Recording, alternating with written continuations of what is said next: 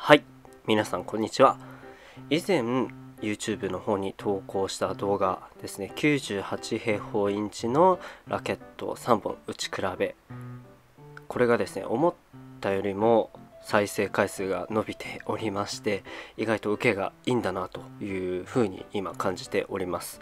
えこの時はピュアストライクの1619と、えー、ピアドライブの VS え E ゾーンの98という、まあ、98平方インチの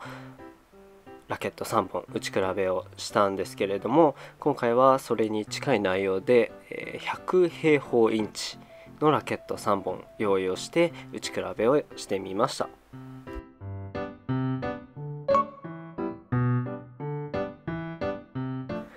え今回打ち比べるラケット3本がこちらですねまずはバボラのピアストライク100そしてダイアデムノバの100で最後がダンロップの FX500 となります、えー、基本的にスペックはかなり似た3本にはなっているんですけれども、え、1本ずつ、え、簡単にスペックご紹介していきたいと思います。まずはバボラのピアストライク100ですね、一応今回使う3本は全て100平方インチ 300g でバランスが320っていうのは全て同じになっています。フレーム圧は 21mm から 23mm えー、黄金スペックよりも少し薄めのラケットですね。でストリングパターンは1619で、えー、フレームの硬さを表す RH これは72となっていまして一応今回比較する3本の中では一番高い数値になっています。次はダイアデムのノバ100ですね、えー、これはフレームがトップのところで 23mm でそこからグリップにかけて 24mm から 22mm と、えー、少しテーパーのついた形状になっています。フレームの硬さは RA が69となっていて3本の中では一番低い数値となっています。最後はダンロップから新しく販売された FX500 ですね。これはもう完全に黄金スペックと呼ばれるラケットになっていましてフレーム圧はトップが23で一番厚いところで26でグリップに向かってまた 23mm に細くなっていく形状になっています。フレームの硬さは RA が71ですので、まあ、ピアストライクとほぼ同等の数値となっています。で最後にセッティングに関してなんですけれども今回ストリングは全て同じポリファイバーのブラックベノム1.25を貼って、えー、使用しています。テンションは45ポンドにしてあります。一応100平方インチに 16×19 のストリングパターンというのは共通しているのでストリング側での差っていうのはほとんど出ないんじゃないかなと思ってこのセッティングにしています。はい。で今回の比較の方法なんですが、え、前回の動画と同じくですねトスマシン安いトスマシンを使って球出しをします。でラケットに取り付けた ZEP のテニス2というセンサーを使って、え数値化をしています。今回は、えフォアハンドの打ち比べをしているんですけれども、えー、3つの打ち方で比較をしてみました。でまずは、まあ、普段通りですね。あんまりこう深く考えないで打った普通のショット。で次に、まあ、つなぐようなボールですね。スピン系のショット。で最後はもう確率やバランスはもう無視をしてですねできるだけ強いボールを打った、まあ、強打、えー、この3つで比較をしています。はい。ではここからは実際に打ってる映像を見ながら解説していきたいと思います。まずは、まあ、ピアストライク100からですね。でこれはあの普段使ったりもしてるラケットなので、まあ、一番馴染みのある使用感ではあります。え打感としてはフレーム一番硬いはずなんですけど、えー、僕はすごく柔らかく感じました。食いつきよくてですね、えー、しっかりこうギューッとホールドするような感じがありました。でただまあ、ピュアドライブみたいにスコーンという感じでは飛んでいかないので自分のパワーで少し押し込むような感触になってますでスピードとしては、まあ、センサーの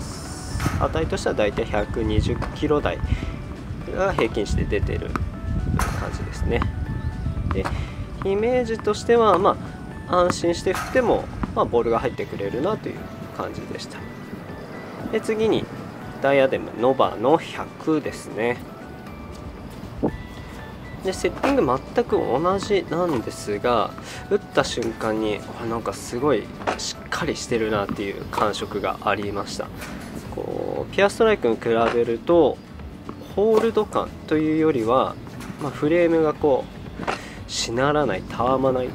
ていう感触が強くてですね、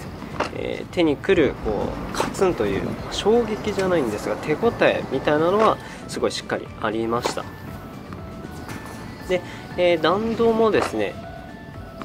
僕のイメージではまっすぐになってるなと。ピアストよりも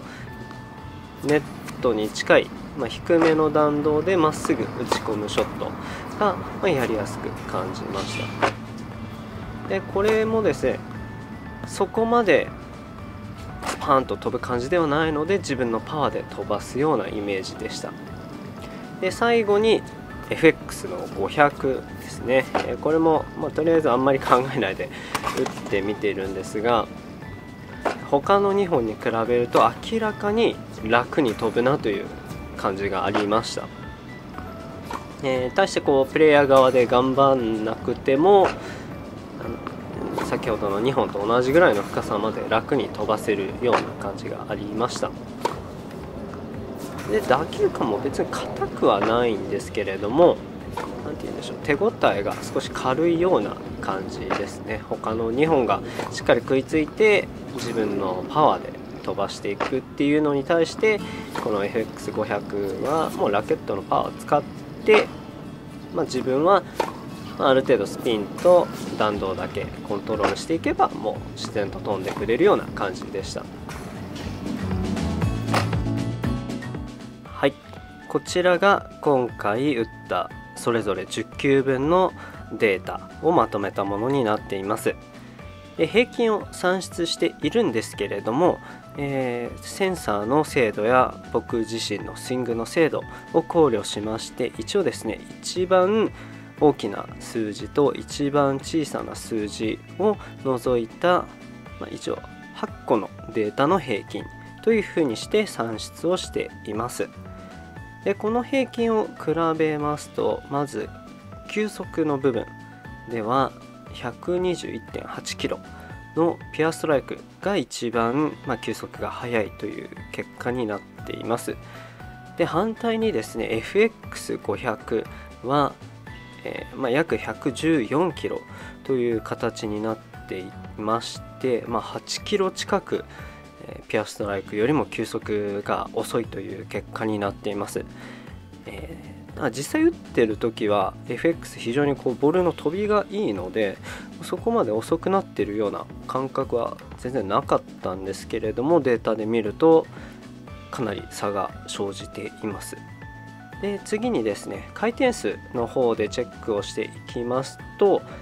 ピアストライクが1230ぐらいの平均だったのに対して、えー、ノバが1637、えー、FX500 だと1667という形になっていて先ほどの結果とは、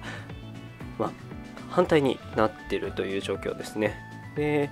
えー、こう見ると、まあ、FX は打ってる時は別にそこまでスイングかけてるイメージもなかったのでやっぱりこの結果も意外かなという気がします。もう少しこう回転数少なくまっすぐ速いボールが飛んでるようなイメージだったので、まあ、これが実際に起きてる現、まあ、ボールと感覚の差なのかなというふうに感じてます、え、もちろんですね今回使っているテニスセンサーの、まあ、精度とか、えー、あとはそのメカニズムの問題でもしかしたら現実に打たれているこうボールのデータと、えー、算出されているボールのデータっていうところに隔たりはあるかもしれないんですが、まあ、その点はあらかじめご理解いただければと思います。今回はもうこの数字を信じてセンサーを信じて考察しようと思います。で、えー、ノバ100に関してはどちらも1位ではないんですがかなり1位に近い数字を両方とも叩き出しているので、えー、そのスピードと回転数というところでは非常にバランスのいいボールが打てていたんじゃないかなというふうに感じます。こう打ってる側としては結構かっちりした感じがあったので、えー、それがうまくこうボールに力の伝わる要因だったのかなというふうに感じています。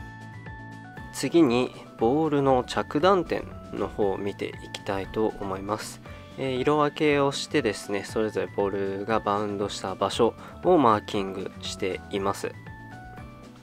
オレンジ色のマークがピュアストライク100なんですけれどもうーんそうですね3球ずつこう深さがばらけてるのが見えます。サービスボックス内に収まるぐらい短くなってしまってるものもありましたし反対にベースラインいっぱいという深さのボールもありました。で次にノバ100なんですけれどもこれはそうですね。比べると少し左右のブレが小さいのかなというふうに思います。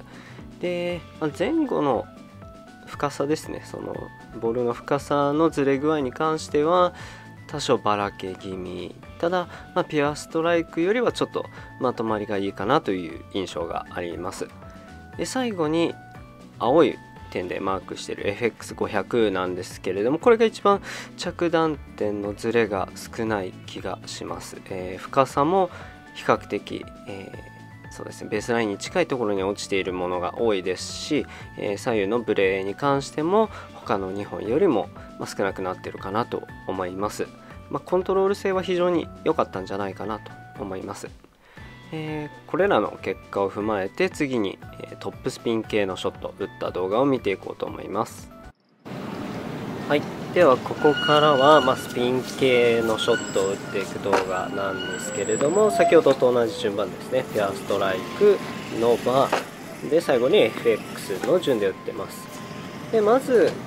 ピュアストライクなんですけれどもまあ、スピン系は非常に打ちやすく感じました、まあ、正直慣れてるっていうのもあるのかもしれないんですがボールの食いつき感が良くてですね、あのー、ボールがよく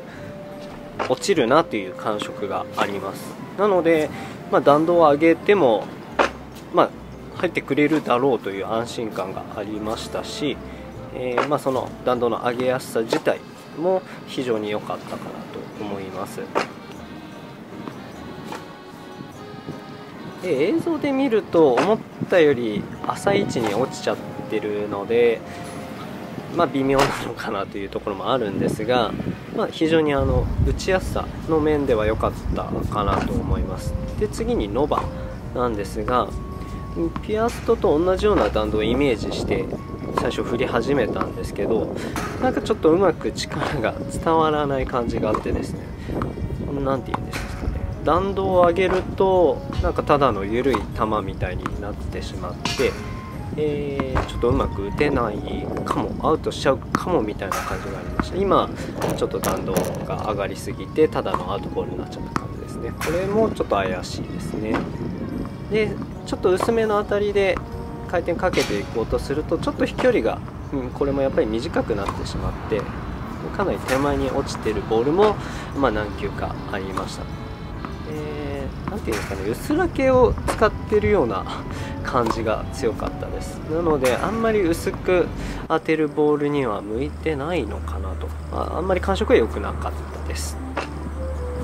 FX500 はですねやっぱりボールがしっかり飛んでくれるので、まあ、打つ側としては回転かけることだけに集中していればいいかなというような感じでした。えー、そうですね弾道は上げやすいんですけれども、まあ、ピアストに比べるとアウトしてしまいそうな感触はちょっとありました。ボールの収まり具合ですねが比べるとちょっと飛びすぎちゃうかなというような感じがありました。でただ、えー、ノバ100よりは、まあ、食いつき感が多少あって弾道を持ち上げるのはやりやすかったかなと思います。でただこう回転量がすごい出てるのかって言われると体感的には、ん、まあそんなには変わってないかなというぐらいでした。はい、はい、ではこちらもですね、えー、10球分のデータを同じように平均ですね、えー、一番大きい数字と小さい数字を除いた8球分のデータで、えー、平均を算出しています。でこれで見るとですね、まあ、今回も、えー、回転数で言うとですね FX が、え一番多くなっています。ちょうど2000回転になっていて、まあ、次いでノバー100が1764ぐらい。で、えー、一番少なかったのが意外にもピアストライクの、えー、1549、まあ、1550ぐらいの平均値となっています。なので450ぐらい FX と、えー、ピアストライクで回転数の差がありました、えー、正直これもやっぱり意外だなという気がします。というのも体感ではむしろこう逆のような感じがありました。でペアストライクの方がギュンギュンにかかってる感じがあってボールも落ちるような安心感があったのにもかかわらずセンサーでは一番低い数字になってしまっています。で FX500 は、まあ、体感よりも思ったより数字が大きく出てるなと。他2本よりもだいぶあの大きいので、えー、ダントツでかかっているようなんですがまあ、不思議だなという感じですね。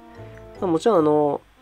頑張って前にスイングしなくてもいいっていうのもあって擦るようなスイングでも、まあ、ボールが打てちゃうっていうのがもしかしたらこの2000っていう数字の大きさに影響してるんじゃないかなと思います。でさらに、えー、面白いのがですね、ノバ100なんですがここでも、えー、綺麗に間を取ってますと。という感じですね。えー、平均速度は113で、えー、回転数も1764ぐらいなので、まあ、2本のちょうど真ん中ぐらいの数字になってます。えー、非常に何て言うんでしょうバランスがいいラケットなのかもしれないですし反対に言うとあんまりこう尖った特徴がないっていう部分なのかもしれないですねただ、えー、体感よりは数字上はいい結果を残せているんじゃないかなというふうにこれを見て感じました。えー、そうですね。どうしてもやっぱりこう体感と実際の数値に差があるんだなっていうのを思い知らされた結果になっています。で、えー、こちらもですね先ほどと同じようにボールのバウンドしたところ着弾点をマーキングした図になっています。最初オレンジ色のピュアストライクですね、えー、無意識に打った時はある程度こう長さにばらつきがあったんですが、えー、不思議とスピンをかけに行った時の方がボールの長さのまとまり安定具合が良くなってます、えー、ベースラインとサービスラインのちょうど真ん中ぐらいに落ちるボールが一番多くて、えー、そこにえかなり集中して、え、落とすことができているのがこのマーキングからわかるかなというところですね。で反対にノバが、えー、無意識に打ってた時は比較的まとまってたのが、まあ、スピンかけるとですね少しばらつきが大きくなったように見えます。先ほどはだいたいこう、まあ、コートには収まっていたんですけれども今回はまサイドアウトもバックアウトもしてしまってますし浅いボールも出ているので少しこうスピンをかけに行った時の不安定さが出てしまってるかなというふうに見えます。で最後に青い、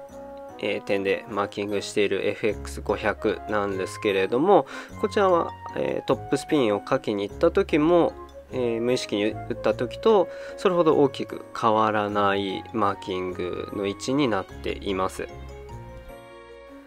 まあ、打ってる側としてはラケット自体にパワーがあるので何て言うんでしょうそれほど、うん、無理やりスイングをしなくてもいいっていうことがあるので、えー、それがコントロールだったりとかですね深さのまとまりの良さにつながっているんではないかなというふうに推測しています。で最後はですね、えー、今まではある程度こうミスしないような打ち方をしてきたんですけれども最後はですねもう確率とかですね、えー、その打った後のバランスとかはもう気にせずもうとにかく強く打って、まあ、1球でもいいボールが入れば OK そのぐらいの、えー、考えで打ったあ10球を比較したいと思います。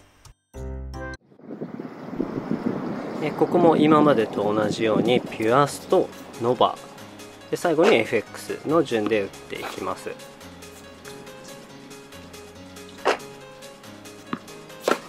でまずピュアストはあの思いっきりフルシーンでも結構安心感みたいなのは感じました、まあ、他の2本に比べると、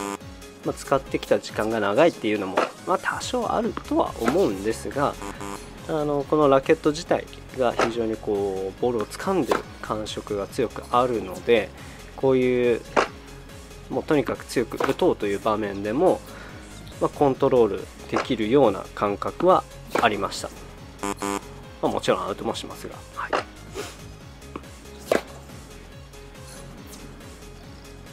イメージとしては、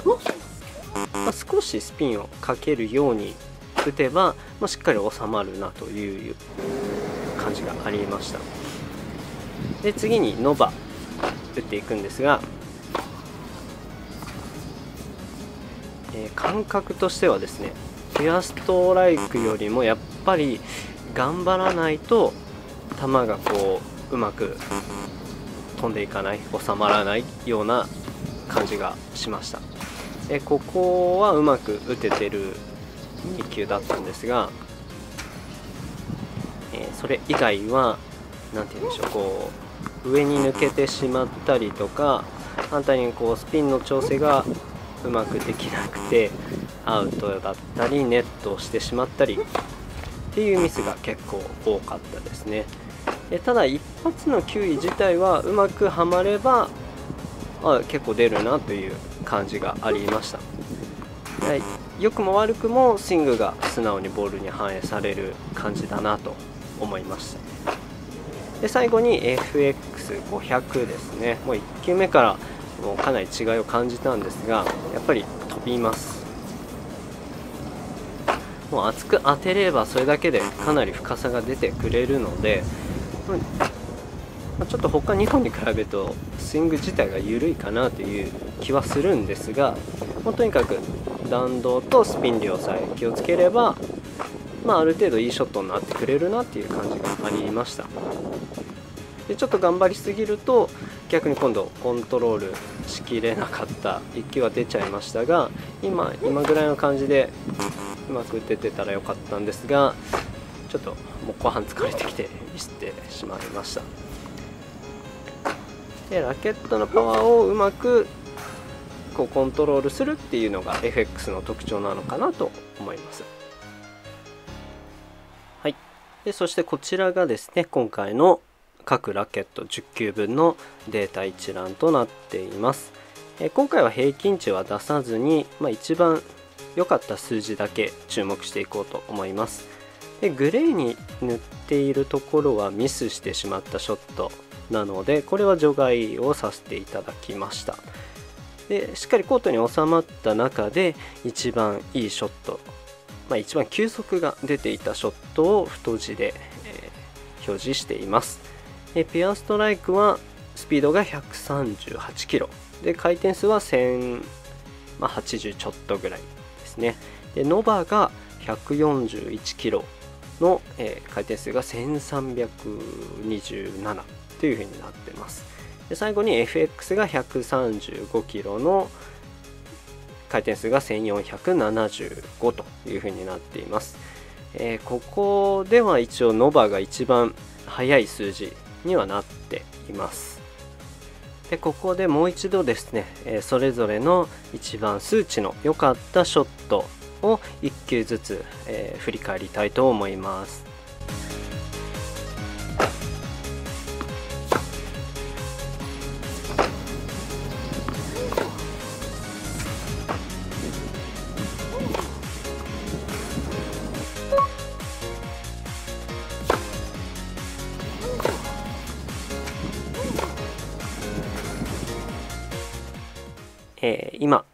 トショットですね。3球連続で見ていただいたんですけれども正直やっぱり映像だとそこまで数字に差があるのかどうかっていうのは何とも断言できないっていうのが正直なところなんじゃないかなと思います。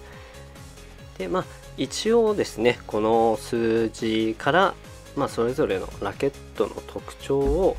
ま考えるとするならばなんですけれども熱い当たりで、まあ、フラッレベルスイングで、え、打ち込んでいくなら、まあ、ピュアストライクがいいのかなという気がします。でバランスよく